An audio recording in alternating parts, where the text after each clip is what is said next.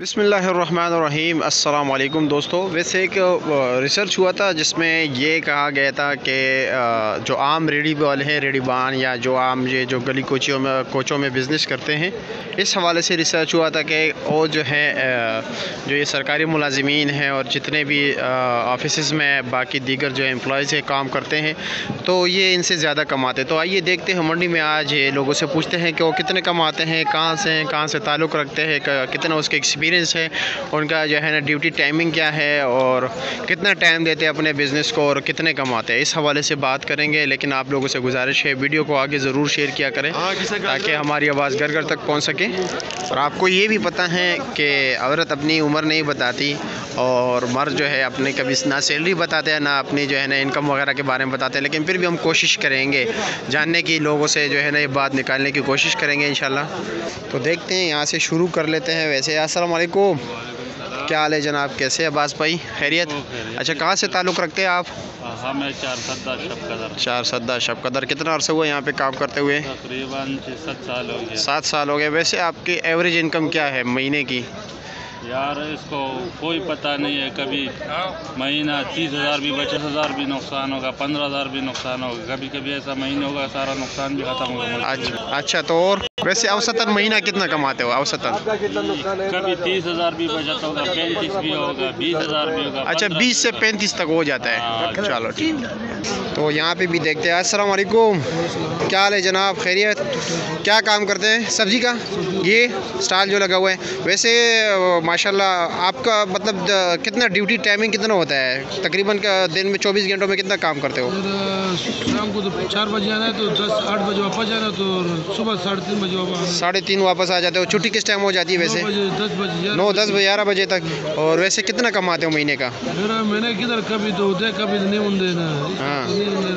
अच्छा। मजदूरी होता तो द्वारा आदमी अपना माशाल्लाह अच्छा वैसे तकरीबन महीने का क्या औसतन कितना कमाते हो? यार मैंने क्या अंदाज़ा अभी तक नहीं लगा कभी होंगे कभी नहीं होंगे मैं क्या क्या अच्छा वैसे तकरीबन फिर भी? यार पंद्रह सोलह हज़ार पंद्रह सोलह हज़ार। चलो ठीक। चलो अक्सर भाई से बात कर लेते इसको तो मैं जानता हूँ वैसे। काफ़ी अरसे से दोस्त है और अक्सर वही क्या कितना अरसा हो गया आपका? मुझे तो पता है लोगों को बताया कितना अरसा हो गया काम करते हुए आपका? मुझे यार मंडी में तकरीबन आठ साल हो गए। आठ साल हो गए। माशाल्लाह काफ़ी एक्सपीरियंस है और आप मुझे जानते हो मैं भी आपको हाँ, जानता हूँ। वैसे औसतन हम लोगों को मतलब ये कि एक जानकारी दे रहे हैं कि मंडी में लोग कितने कमाते हैं। आप वैसे औसतन महीने का कितने कमाते हो? यार ये बंदे की दिलेरी तक है ना। अच्छा दिलेरी तक है। रिस्क लेने तक है। रिस्क लेने तक हाँ। बिल्कुल ऐसे ही है। औसतन तो बंदा दो दो लाख रुपए कमा लेगा लेकिन नुकसान भी उतने तेरे सामने मुझे हाँ। में कितने कितने नुकसान बिल्कुल इसलिए आपने सत्तर हज़ार रुपए कम हो गया एक हाँ, इस तरह एक लाख से ऊपर कम हो गया एक एक दिन में। मैं अपना आपके साथ एक्सपीरियंस वैसे शेयर करना चाहता हूँ।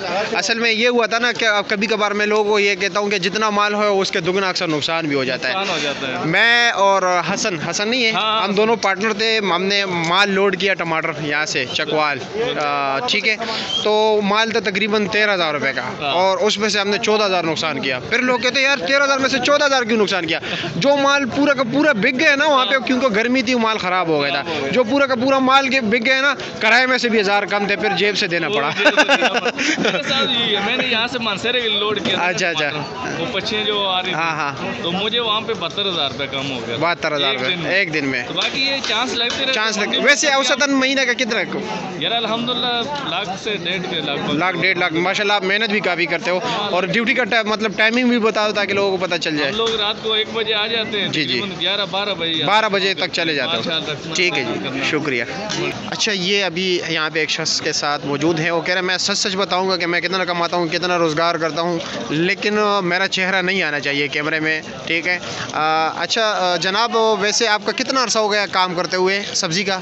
ये तो पैंतीस साल हो गया पैंतीस पैंतीस कौन कौन सी मंडी में काम किया हुआ है? पहले पिशावर में था अच्छा। पंदू मंडी में। अच्छा।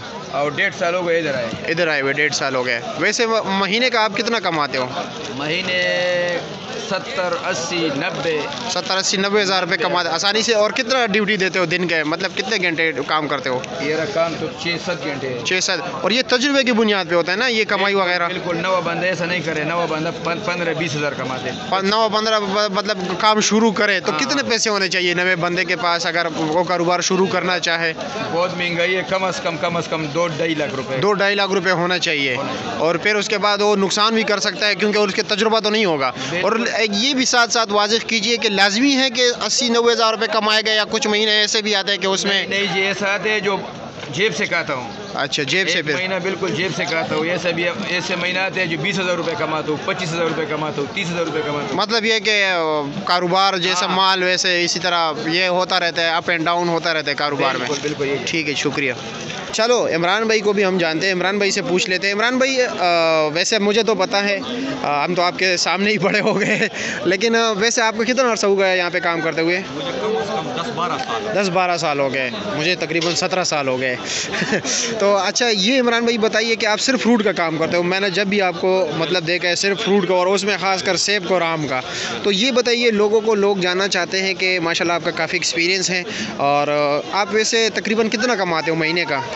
मेरा जी हमारा गर्मियों में जो सीज़न है पाँचवें महीने से लेकर दसवें महीने अच्छा। इसमें हमारी औसत अच्छी रहती है। अच्छा अच्छी औसत रहती है। सीज़न होता है और घर वाले भी बहुत खाते पीते हैं दुकानदार भी बहुत खुला डुला निज़ाम हाँ। खुला डुला निज़ाम हाँ, बिल्कुल। साठ सत्तर हज़ार अस्सी हज़ार लाख रुपये महीना कमा लेते हो और वैसे सर्दियों में सर्दियों में हमारा तो मुश्किल खर्चा पूरा हो जाता है हो सकता है लाख डेढ़ लाख पास से भी चला हाँ। पास से चले जाते हैं। वैसे अगर नया बंदा काम शुरू करना चाहे तो कितने पैसे उनके पास होने चाहिए? यारा जी अगर सच्ची बात मैं बताऊँ सच्ची बात ये है कि जान जितने लोग बेच रहे हैं ना हाँ। ये एक दूसरे के कर्जे के नीचे आ नीचे आ गए। वैसे नए बंदे के लिए काम मुश्किल है ये। जो इनसे दुकानदार आगे इधर से लेते हैं ना हाँ। वो आगे दुकानदार दुआली हो जाते हैं। हाँ, हाँ। फिर इनके जो पैसे नीचे लगे होते हैं वो भाग जाते हैं। भाग जाते हैं और ये तो- आड़ती से बकाया कर लेते हैं। और ये मन आदमी है ना वैसे नया बंदा का मन आदमी है वो इधर नहीं बेच सकते। अगर ऐसा नया बंदा अगर शुरू करना चाहे तो उसके लिए क्या होना चाहिए? पहले पहले दिनों में के अंदर जो है ना मंडी के अंदर हम्म। नया बंदा तो बिल्कुल नुकसान नुकसान पे चल रहा है। लोग आएँगे अखलाक से बुलाएँगे ये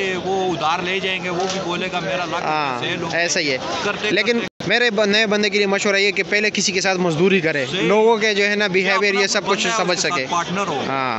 जिस नानवे परसेंट निन्यानवे परसेंट फ्रॉड है।